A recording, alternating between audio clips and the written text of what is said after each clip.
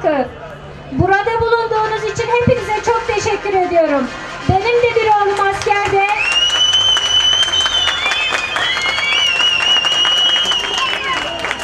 Ve gerçekten oğlumla da gurur duyuyorum.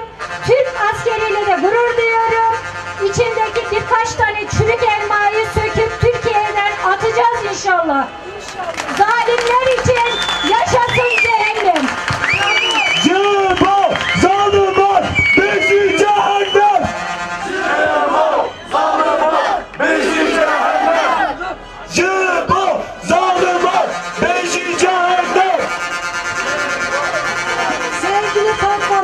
Halkı, gerçekten bugün cihat günüdür.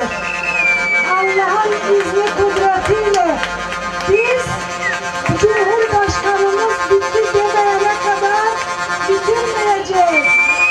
Evimizde oturmayacağız. Yeteri kadar rahat yaşadık.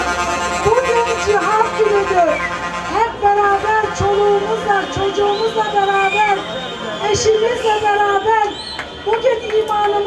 gösterme günüdür. Allah'ın izni milletin yardımıyla devletimizi bu kötü durumdan kurtaracağız. Hepinize şimdiden çok çok teşekkür ediyorum. Büyüklerin himmetine sizi ve bizleri bırakıyorum. Hepimiz inşallah bu